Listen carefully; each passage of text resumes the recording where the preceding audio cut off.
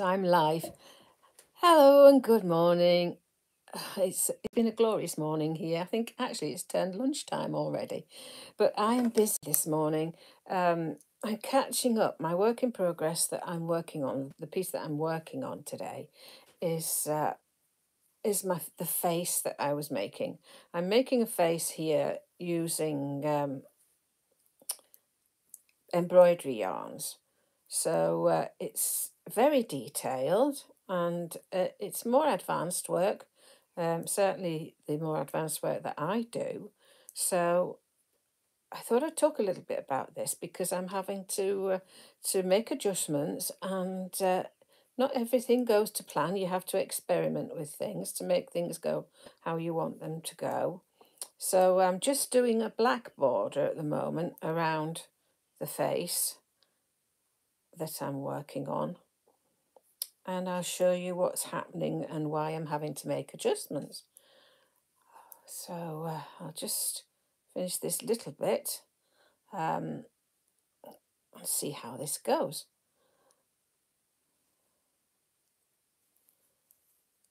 Okay, that seems to have joined up the black border that I'm doing around the, the face. So I'll leave that there. Now, what's happened? This is the face that I'm making here. And the main part of the face here is okay. It's not not not too bumpy. It's it's it's fairly flat, which is what I'm trying to do. And um, I'm I'm copying, um, or I mean inspired, I should say, copying um, a piece by Picasso. And the face, I'm not exactly copying it. I'm just being sort of inspired by some of the patterns. And and you, if you if you know Picasso's paintings, you might recall the side of the face here, the hair on one of his pictures looks very very much like this. The eye in mine, that's my own design um, here. The, the eye is fairly copied fairly much from the from the picture that I found on the internet of Picasso's painting here. And um, there's a piece at the top, something like this. But when I started to do this piece at the top, it sort of wouldn't fit on the top of the head. So I've done a bit more on the top of the head and, and made this my own. And then I started to, to attach it to the face. Now I did attach it to the face. I sewed all the way around here like this and attached it to the side of the face there.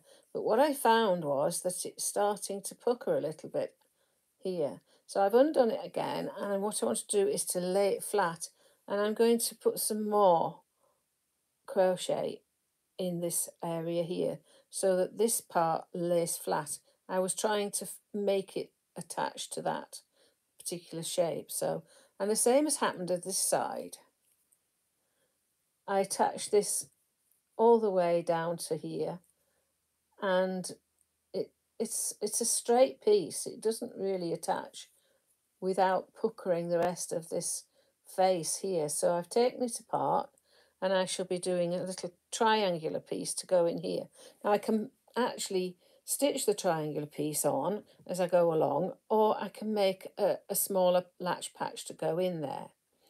Um, so what I did is I made a little one here with a point on the end here and thinking that will go into that space there. It's difficult to show you there. That was going to go into that space there. And it's not too bad a, a fit to go in there, but I don't like the white. I've done it, but I don't like the white. I think that's too harsh a colour. It go it matches the eye here, but it's too harsh a colour to go with the rest of it. So I'm going to do that again and uh, make a small little patch to go into that space into that space here.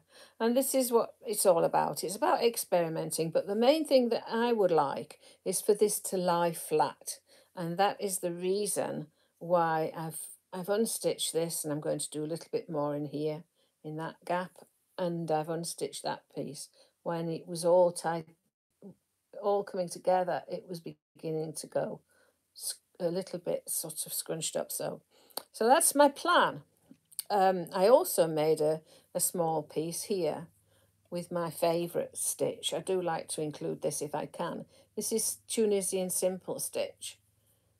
And I thought that that might go in somewhere, but it's going off in the wrong direction. So I may or I may not include it, or I might just make another piece that might fit better.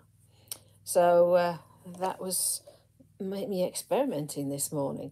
Uh, in this uh, box where I keep all these yarns, I, I always say, if you do something, like like this particular piece here, I wouldn't take it out. I would put it in my box and keep it, and I call them treasures. If you heard me do things, we say things before, keep them as treasures. You could, children can have treasures, but you can have treasures too, and that's a little treasure that I could maybe use. Um, in that box, I found this one of the first eyes that I ever made here. It's very detailed. I came across it and I, I can see how detailed it is. And I think what I'm doing here in this eye is just doing slip stitches and one or two, have a look. Yeah, one, one or two uh, double crochets in there, I think. So it's very, very detailed with lots of different colours.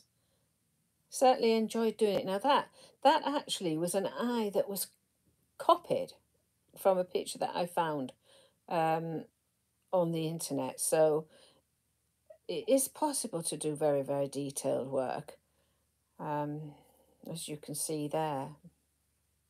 Hold it a bit, bit closer. Here's another one. This was one of my first first eyes that I did. And uh, when I did this, I, I, made the eye and I really didn't realise that if you make eyes this size, by the time your face is finished, it becomes quite large. So, uh, so just be beware of that when you're making the eyes. And the other thing that happened with this is that I made two of them, um, thinking, yeah, two eyes, put them together, and they ended up with this in the wrong, the, the pupil in the wrong place. So it ended up looking very much like a squint on the face. So I, I really abandoned that one. And that's how I came to have this, this spare one here as a treasure. So eventually, I mean, you could you could just make a, a, a, a crochet them together. Maybe pieces that you've made could come together to make something that's up to you what you might want, want them for in the future, but don't throw them away or don't take them out. Have a go using them um, in a different way. So uh, I've also been looking at um, the idea of making small patches to go to go in your work. Um, you can add patches like I have done here, or you can just simply put them on, um, work them onto the side as I did when I was doing these the main part of the face here. This bit's been crocheted onto the side. And then you find that you get gaps in between. So I've been looking at, at how we can do small pieces. Um, using double knitting yarn, this is a piece that I've been working on. It's, it's, it's, like uh, working in, on a circle. I think I ought to call these circular latch patches because uh, they often start with a circle when I do these. And uh, also you can see that, that if you work into the back loops of the stitch, then you get this like little ridge going round, which I think is quite nice to see. That little ridge of it by working into the back loops. I think you can see that. Certainly very clear on this blue here where there's a ridge going around and that's because it's all worked into the back loop. And then you can change the stitch size as you go around. So when you, for instance, when you're using this green here, you would start with just a slip stitch and then a double crochet and double. So this particular piece then is for those people who are already doing traditional crochet, not doing an awful lot of freeform crochet. There aren't many stitches in here. It's best basically a flat piece. There's no bullions and and um, what I call textural stitches in there. It's just getting larger, as I said before, with slip stitch, a double crochet, half treble, which is a bit bigger, and then a treble, which is a bit bigger still. So you've got the different sizes. Work up the sizes to the side here and then start going back down again. Don't go from a double crochet up to a, a triple, uh, a triple. Put the half trebles in between so that it, it smoothly goes up and down as you're going round. You can see this this one here is getting larger as it comes round and then it comes, the blue becomes smaller again. And the same with this bit of red here. Starts large, gets bigger and comes back round. And also if you keep if you do this, you can find that you can make make a circle and then by doing these um, it's almost like a corner piece here, if you were doing them like that, you could actually make your circle become almost square or even pointed and triangular. So we'll look at that maybe in another video, how you can do these smaller pieces. And of course, if you're doing a large area of free form, you can fit these smaller these smaller bits in between to fill in the gaps, which is what I need really here to fill fill in some gaps. So I need some smaller pieces working in in the um, uh, the embroidery yarn, of course, not the double knitting yarn. I, I have had a go at um, doing something similar. And if you're teaching children or if you're a beginner, and um, I have one student and she's only ever done latch hook crochet, so she's never learned all the double crochets, triples, and so on. So all she's doing it basically is is chain and slip stitch. So this particular latch patch here is just done in the same manner, but it's done with with just chain and slip stitch.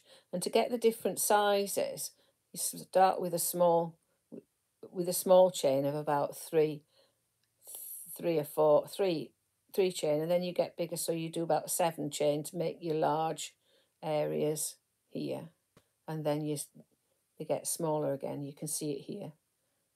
This one's a bit larger for the corner and then it goes smaller again right down to a slip stitch. So that's a nice little project to do it with children who are just learning to do a chain. The centre here is just with chain and slip stitch as well. Just making like a flower shape into the centre. So that's something I'm working on, looking at how we can develop this for for beginners, just making these easy, easy chains. These are chains, not actually stitches, if that makes sense.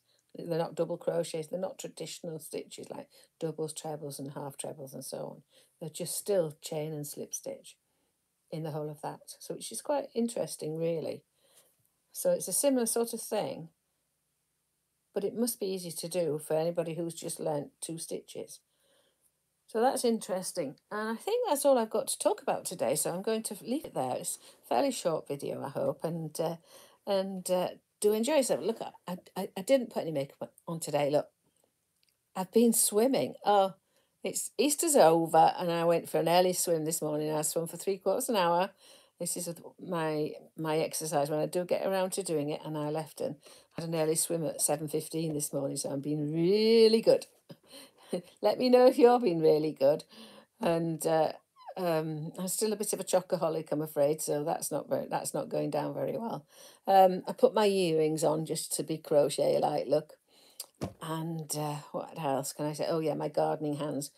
I'm planting seeds at the moment, so I've got no nail varnish on. Look, my nails are all all working hands, I'm afraid. So um, yeah, that that's me at the moment, just coming along as I am. Um, and I thought, oh yeah, I'll go live again today and see how uh, see if we can just um, focus a bit on crochet and sit and let you know how I'm doing with my work in progress. So bye for now, and we'll catch you again soon. Bye.